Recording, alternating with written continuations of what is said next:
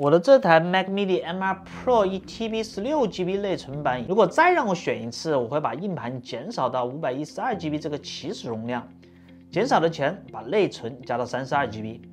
16GB 对我个人来说，一般来讲是够用的，但也有时候，比如来讲剪辑视频叠加的效果和插件一多，就有点卡顿了，或者是浏览器在处理繁重任务的时候啊，经常也会重载入。另外还有就是没有 SD 卡接口，这个对于我这样的视频博主来说是非常的不方便的。我之前只能这样去处理，经常读不出来不说，桌上还一堆的线，实在是受不了。所以我决定要改善一下，也顺便做好之后更新新款 Mac Mini 的一个准备。早在2018年的时候买过一个奥瑞科出的一款移动硬盘盒，直到今天我依然在使用它。过硬的质量啊，让我这次把目光再次落到了奥瑞科身上，要同时解决存储空间和接口不足带来的一个困扰。奥瑞科新品 Studio Link 是个合适的方案，四四方方的包装盒，上面是奥瑞科的 logo。打开以后呢，拿出主机和配件盒。好，我们先来看看配件盒里面都有些什么东西。一根 USB-C 接口的编织线，螺丝刀，这个应该是用于安装硬盘的，一共有两个。防滑垫两个。再来看看这个电源，十二伏五安六十瓦的功率，剩下就是一些小螺丝了。好，来给它揭开盖头，露出真容，顶部 logo 和产品名称，设计还是蛮简洁的。外壳为铝制合金，和 Mac Mini 很搭，但边缘稍微有点硌手。长宽为一百九十七毫米正方形，高度为一百四十点八毫米。正面左下角依次为 TF 和 SD 卡插槽，这是 USB 三点零协议同时读取。旁边是两个 USB A 三点一接口，最高支持十 G。再是前置的三点五毫米耳机接口，这个对于我来说也是非常实用的，再也不需要在 Mac Mini 的屁股后面找来找去，很烦。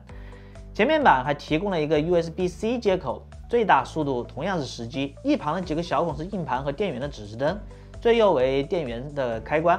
再翻过来看看背面，最上方应该就是散热口了。中间是磁盘仓，下面一排依次是 DC 电源接口，RAID 磁盘阵列模式的一个选择。是的，Studio Link 支持主 RAID，具体我们后面再细说。好，剩下的就是 DP 和 HDMI 了，它们都支持 4K 60赫兹。这里的 PC In USB-C 接口负责连接 Mac，速度也是十 G。好，最后来看看底部，这里也给用户预留了扩展的接口。螺丝刀打开以后呢，它是一个 M.2 固态接口。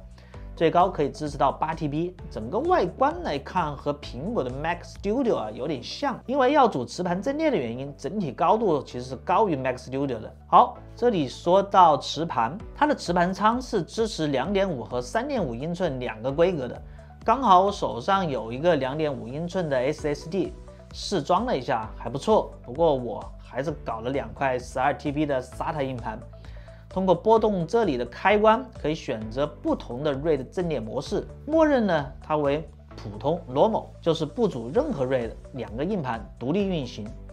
在默认模式下，两个硬盘都可以读写跑满速度。我们再来试试组 RAID 零，把后面的 RAID 开关拨动第一个即可。可以看到啊，现在两个硬盘是合二为一了，总容量为二十四 TB，速度也得到了大幅提升。之前读写在两百五左右，现在是四百一，速度上快了百分之六十四，非常的 nice 啊。奥维科 Studio Link 我用了接近有一个月的时间了，对于我个人来说，它虽然不是刚需，但它是那种用过了以后就回不去的产品，是那种对现有工作流的一个体验提升，一下子多出二十四 TB 容量，最大可以支持到四十四 TB。